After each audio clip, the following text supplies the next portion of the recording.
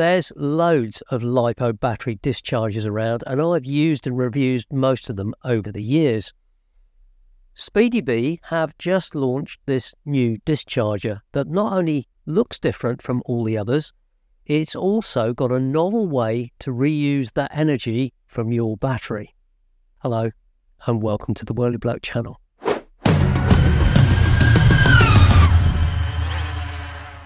Let's face it, when you've been out having fun with your drone, RC car, boat, or whatever, the chances are none of your batteries will have much left in them by the end of the day.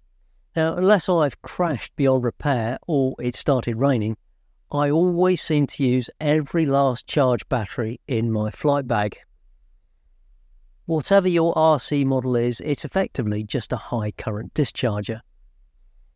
A discharger does have its uses when you're out and about, but it's mainly something that you use when you're at home when you've got a load of charged up batteries that you don't plan on using for a few weeks. Discharging them down to the correct nominal voltage protects your investment. After all, batteries aren't exactly cheap, so it makes sense to look after them and keep them at their happy storage voltage. Rather than just convert all that energy when you're discharging them into heat like other dischargers do, this SpeedyBee one allows you to recycle the energy to charge your phone, computer, or even other USB power packs. So this discharger is pretty straightforward to use. On the bottom is an XT60 and you can plug in anything between 2 and 6S into there. So I've got this 4S 1.3 ampere hour battery, a LiPo, and you get this balance lead with the discharger you can plug that into the little balance port on the side and then you just plug that into your battery. Very straightforward. And it immediately shows you what the voltage is on your battery, 16.6 volts in this case. If you single press the right hand button, it cycles round voltages of the individual cells 4.1, 4.1, 4.1. Pretty good. If you long press the right hand button, that takes you into a little setup screen and that allows you to set the target discharge voltage. It defaults to 3.8 volts, which is a good voltage for LiPos, and you can move that up and down to whatever you like. Long press get out of that. On the left hand side is the on button, and that cycles you round various things. So it's showing that it's 16.6 volts at the moment.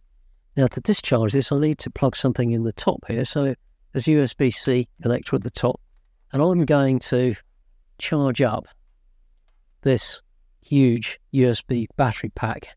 So I'm going to be discharging my LiPo and using it to charge up battery pack. Now, there's nothing to stop you using it to charge up your phone, charge your computer, run your computer, whatever you like.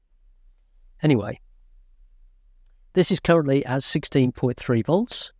If I single press that, it's showing me the voltage that's coming out of here.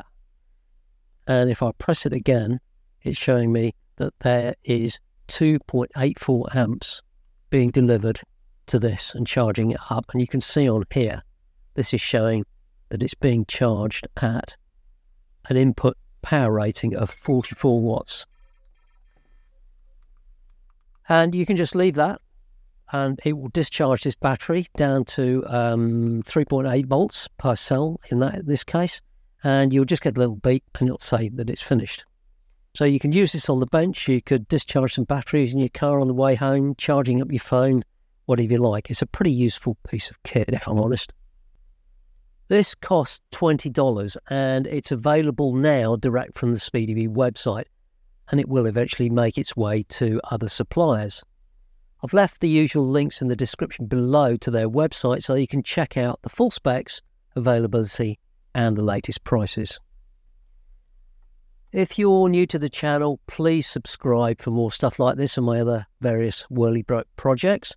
And if you've already subscribed, thanks loads and give this a thumbs up if you found it useful. If you hated it, well, you know, it's up to you. Thanks for watching, and I'll see you next time.